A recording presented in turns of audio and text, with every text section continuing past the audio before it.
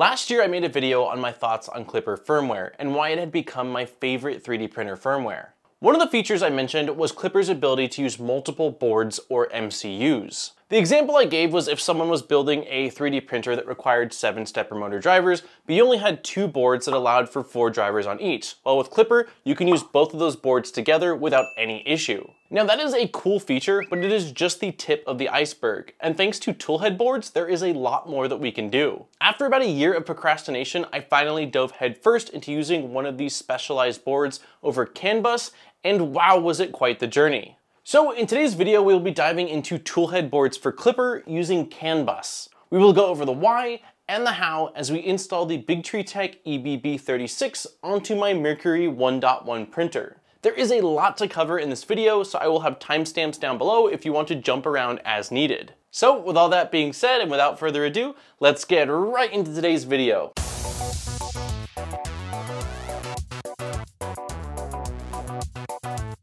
Today's video is sponsored by PCBWay. PCBWay is your one-stop shop for PCB fabrication, 3D printing, and CNC services. Their 3D printing services include everything from FDM, SLA, SLS, and even SLM technologies. I tested out both their nylon SLS as well as aluminum SLM printing and was blown away by the results. For PCB fabrications, they offer both bare and populated boards. They even have a section for open source community projects for quickly sharing designs. Links are in the description below so that you can find out more and check out all that they have to offer. Let's quickly touch on the benefits of toolhead boards. These small boards are often designed in the footprint of a NEMA 17 or NEMA 14 36mm stepper motor, allowing them to easily be mounted. Similar to a breakout board, they clean up your toolhead's wiring by having all the wires from your toolhead go to that board instead of running them all the way down to your main controller. This makes upgrading or swapping out parts on the toolhead a much simpler process. Unlike breakout boards, these small boards also have their own MCU, which basically makes them miniature versions of the larger board you have controlling the rest of your printer. This also means that they can add additional functionality to your printer. In the case of the EBB36, we have a TMC 2209 driver for the extruder motor, an accelerometer for input shaping, RGB, end stop, I2C, a probe or servo, thermistor, two fans, and heater connections. Being able to run input shaping without having to connect and disconnect my little portable input shaper is really nice, especially when I'm moving printers around so often. These toolhead boards also only require a few wires to be ran down to your Pi or to your CAN bus board, which makes the printer's wiring overall much neater. For communication, these boards are typically using CAN bus or controller area network. Some boards, like the Bigtree Tech EBB boards, can be ran over USB, however, it would require you to run an additional power and ground wire so that you can power power the electronics on your toolhead,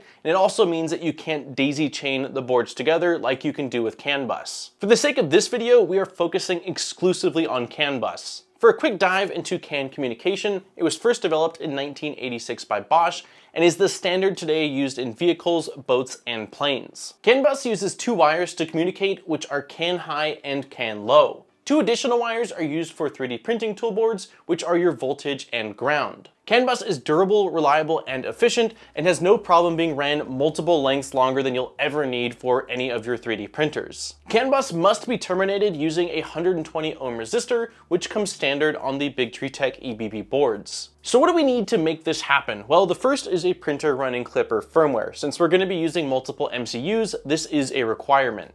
Second, we need a way to communicate over CAN bus, and for this there are a few options. The first is a CAN hat for your Raspberry Pi.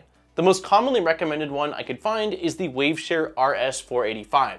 This is roughly a $15 board, which will connect to the GPIO pins of your Pi, giving you CAN communications. The second, and what I'm using for this video, is a USB to CAN adapter. Like the name implies, this board will take in USB from your Pi, or in my case the Manta M8P, and give you CAN. The last option with some 3D printer controllers is CAN bus bridge. Boards like the Pico, Octopus Pro, and newer Manta M8P boards have the ability to use CAN without the need for a USB or HAT adapter. Additionally, you will need a CAN toolhead board. Bigtree Tech has the EBB36, the EBB42, and their recently released EBB Stealth Burner board. We will be using the EBB36 in this video. The only other things you will need is a USB cable if, like me, you are using one of the USB to CAN adapter boards, and the actual wire that you'll be using for your CAN connection. I'm using CAN bus wire that was sent to me from 3DO last month, but I've also seen Chainflex from iGUS recommended, and I've seen others creating some of their own wires. For the CAN data wires, which are CAN high and CAN low, what I've seen recommended is 26 gauge wire, and you'll want the CAN wires to be twisted. For the voltage and ground wires, that will depend on your specific setup and your needs, but 20 gauge is what I've seen recommended, and that's what I believe comes standard in the 3DO wire. The first thing that we need to do is get the USB to CAN or U2C board hooked up. For this, we will take a USB cable and plug it into our Pi or Pi alternative, and the other end will go into our U2C board. The U2C board should actually be flashed from the factory and not really require you to do much of anything with them. However, I have a 2.1 board and I've seen online that there are a handful of 2.1 boards that were flashed incorrectly from the factory. So I'm going to go through the process of reflashing the board to make sure that the firmware on there is correct. To do this, we will put the U2C into DFU mode. Unplug the board, then hold down the boot button on the board while you plug it back in. Next, we will download the zip file that I have linked in the description and unzip the bin file within. We will need to place this bin file on the root of our Raspberry Pi using FTP. I'm using FileZilla because it's what I have installed, but you can use any FTP client. The host will be your Klipper IP, and the username and password will match your SSH credentials. For Raspberry Pi, the default is username Pi, password Raspberry, and for the CB1, which is what I'm using, the username default is BQ and the password default is BQ. The port will be 22. Once you connect, drag the bin file into the root directory.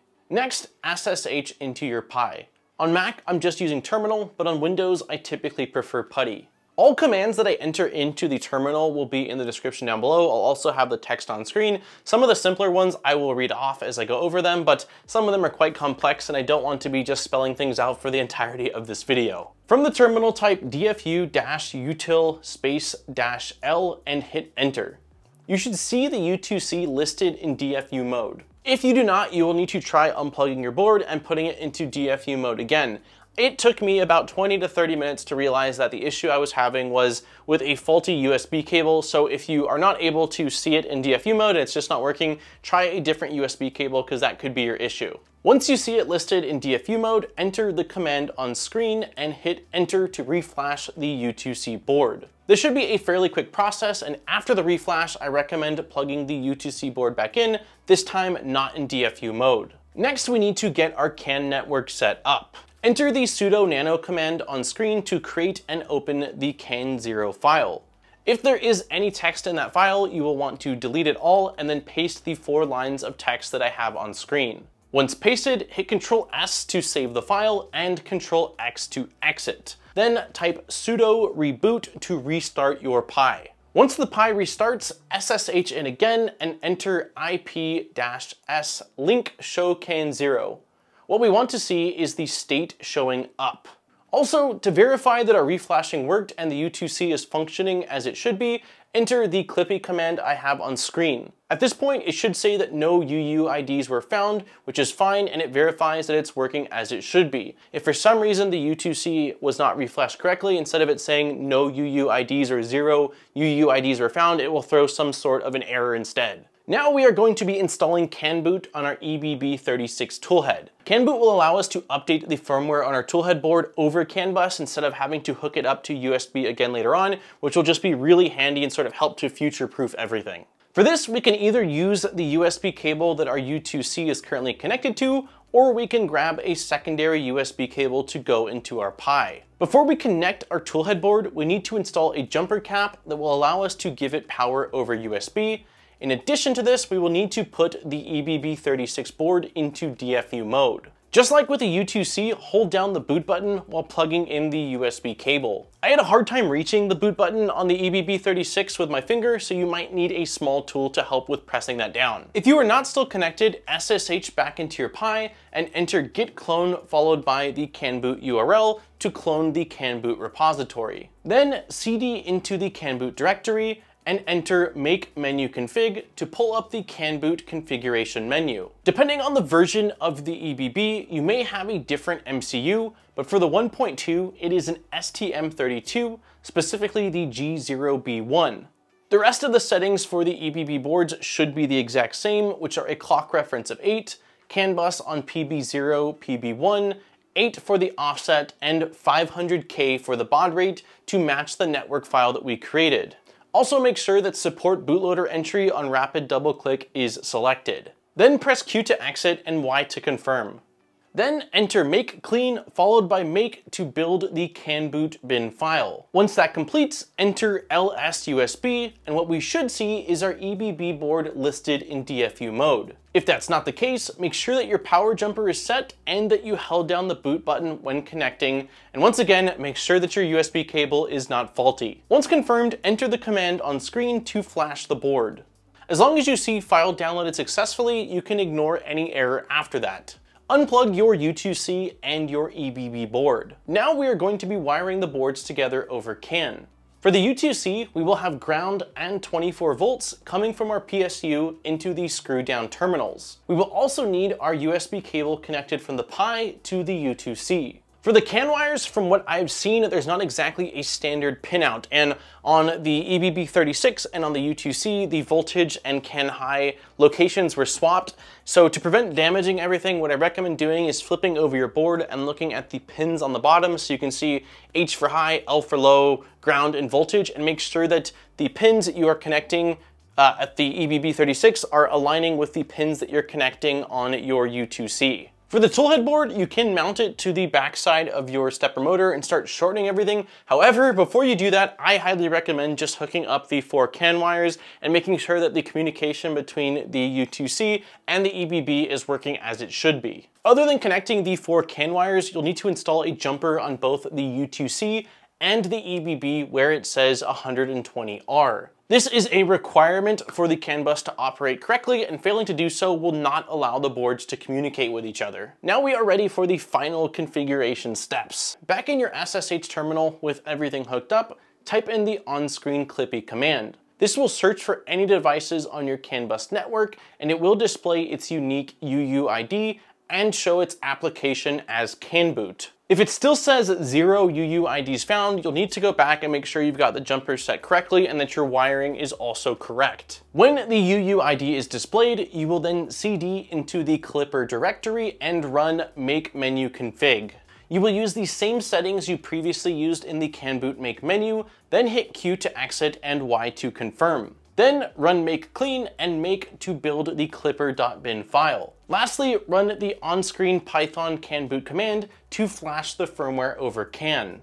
When you query the CAN bus UUID again, it will display that UUID, but it will say Klipper as the application, letting us know that we are ready to rock and roll. At this point, all that you need to do is update your printer.cfg file. BigTreeTech provides .cfg files for their CAN boards, which makes this pretty simple. The process is copying all the text in their .cfg file for your board and then creating that file in Fluidd or Mainsail where you will paste all of the copied text. You will then need to comment out the USB communication that they have set by default and uncomment the CAN line along with entering in the UUID that was displayed in terminal. In your printer.cfg file, you will need to include the CAN bus config file so that you have access to all of its pins. Then just like when you built your original config file, you'll swap out pin IDs as necessary to use the pins on the EBB board. After verifying that all the hardware you connected to the CAN bus board is working as it should be, you're good to go. I've been running this setup for the last week or two and I've really been enjoying the much cleaner wiring with the CAN bus board and again having the ADXL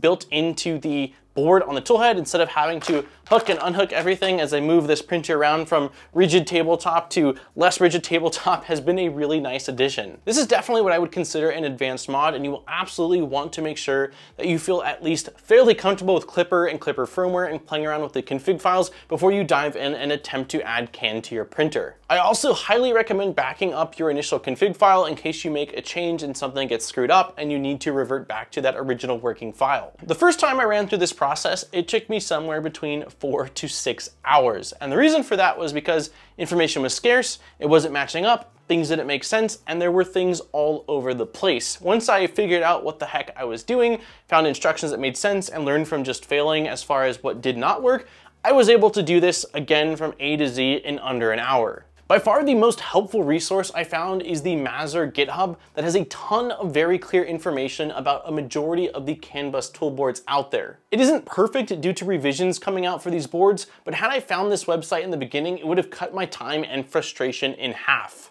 For anyone interested in installing CAN bus, I will have this linked down below, and I highly recommend using this as your initial resource because again, I think it will save you a ton of time and frustration. CAN bus is awesome, but I really hope that the process gets simplified down a bit more, and a lot of that just again comes down to better documentation, which is on the manufacturers. Now, Big Tree Tech does provide some documentation for the EBB36 and the U2C, but I can guarantee you that from a beginner's perspective, going from A to Z, there are a lot of gaps that someone someone that hasn't done this before will not be able to fill in on their own. I hope that you enjoyed this video and that you now feel more confident in at least understanding the process of setting up CAN bus on your Klippered 3D printer. And if you are in the process of installing it, perhaps something in here helped you complete that successfully. If so, please let me know in the comments down below. As always, if you do have any questions, let me know and I will do my absolute best to answer those questions. I am by no means a CAN bus expert. Again, I grinded my teeth through all of this. It was not a simple thing to do, but